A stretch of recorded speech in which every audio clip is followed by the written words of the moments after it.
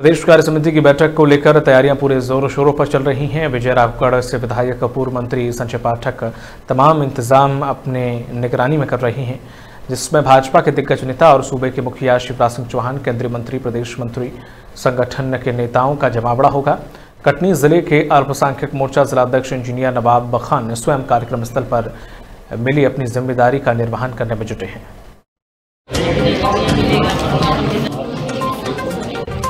कल ये कटनी ज़िले का बड़ा सौभाग्य है। हमारे कटनी ज़िले के भारतीय जनता पार्टी का प्रत्येक कार्यकर्ता बहुत प्रफुल्लित है। इस, अपने आप की, ये खुशकिस्मती समझ रहा है कि पूरे प्रदेश की जो विस्तारित पदाधिकारी बैठक है, वो यहाँ होने जा रही है, जिसमें प्रदेश के सारा शीर्ष नेतृत्व यहाँ पे आएगा। और प्रदेश से जो केंद्र में हैं, मंत्री और राष्ट्रीय पदाधिकारी प्रदेश में, प्रदेश के जो केंद्र में है वो सारे लोग यहाँ पे आएँगे। लगभग 220 लोगों को अपेक्षित लोग हैं जो यहाँ पे आने आने वाले हैं। 2023 प्रदेश के कटनी ज़िले में होने वाली इस प्रदेश की प्रदेश कार्य समिति की ऐतिहासिक बैठक में हमारे मध्य प्रदेश अल्पसंख्यक मोर्चे के प्रदेश अध्यक्ष जनाब रफत वारसी का भी आगमन हो रहा है और ये उनका प्रथम नगर आगमन है।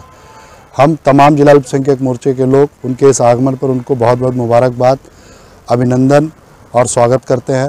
साथ ही राज्य हज कमेटी चेयरमैन के पद पर निर्वाचित होने के बाद भी उनका प्रथम नगर आगमन है। हम इस अवसर पे पूरे जिला अल्पसंख्यक मोर्चे की तरफ़ से उनका बहुत बहुत खैर मकदम करते हैं।